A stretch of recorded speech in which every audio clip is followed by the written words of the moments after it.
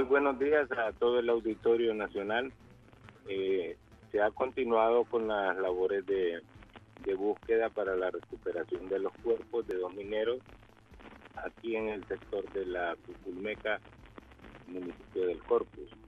Eh, esta mañana se ha iniciado la actividad utilizando las máquinas para tener una mayor estabilización de la zona y poder tener eh, una aproximación más asegurada hacia el sitio donde se encuentran eh, los cuerpos hasta este momento que se tiene eh, señalizado por parte de los mineros y por parte también de los expertos del Ingiomín.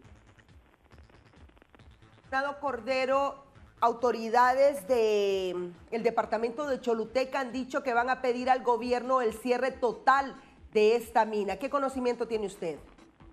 Bueno, hemos eh, leído el pronunciamiento de la Iglesia Católica a través del señor obispo, en el que están solicitando al gobierno pues eh, que planteen algunas alternativas para evitar seguir teniendo la pérdida de vida.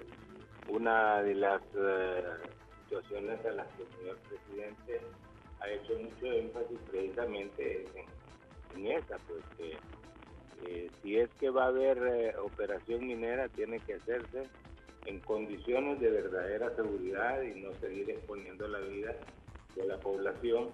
Y también se han hecho varios planteamientos de otros rubros que podrían estar siendo explotados, pero eh, la comunidad pues